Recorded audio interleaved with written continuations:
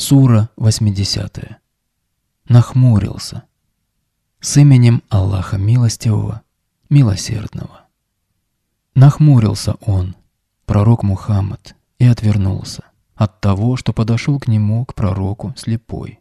Однажды, когда пророк Мухаммад разговаривал со знатными людьми из племени Курайш, к нему также подошел слепой, которого звали Абдуллах бин Ум Мактум – из-за того, что пророк был вынужден прервать беседу с людьми, принятия ислама, которыми он очень желал, он хмуро посмотрел на слепого и отвернулся от него. «И откуда знать тебе, о пророк? Может быть, он, слепой, очистится от своих грехов? Или он станет внимать увещанием? И поможет ему это напоминание, наставление? Что же касается того, кто не нуждается в вере, истинном знании и в твоем призыве, то к нему ты, о пророк, поворачиваешься, уделяешь внимание. И хотя не на тебе, о пророк, лежит вина, что он не очищается от своего неверия.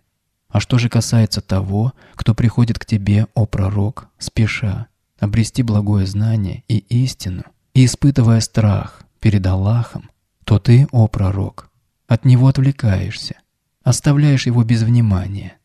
Но нет же, Впредь так не поступай, о посланник.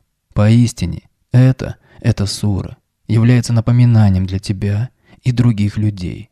И кто пожелает понять и получить наставление, вспомнит его, Коран, который в подлиннике находится в свитках почтенных, у Аллаха, возвышенных на небе, чистых, недоступных для искажения кем-либо, который пишется из хранимой скрижали, руками песцов, ангелов, почтенных созданий, полностью покорных Аллаху. Пусть будет убит, проклят, неверующий человек, как он неверен в своего Господа.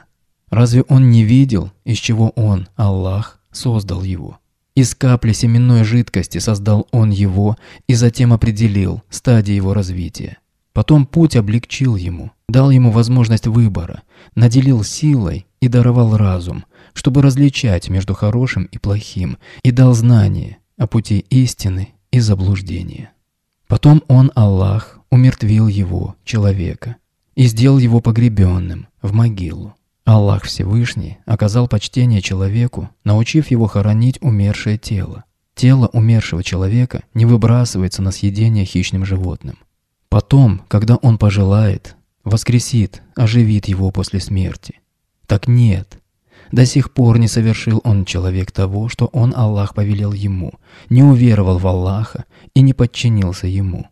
Пусть же посмотрит человек на свое пропитание, которое создает Аллах. Как мы пролили воду ливнем, потом рассекли землю трещинами, выводя из нее растения. И взрастили на ней различные зерна, и виноград, и зеленую траву, когда земля насыщается живительной влагой дождей, из земли, рассекая почву, начинают произрастать различные растения.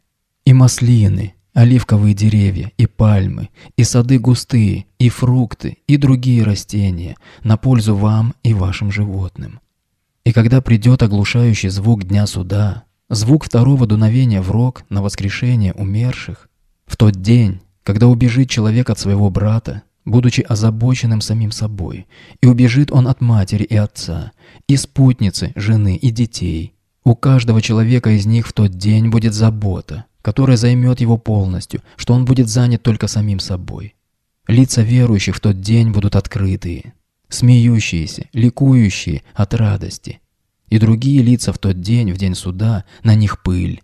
Покрыл их эти лица мрак.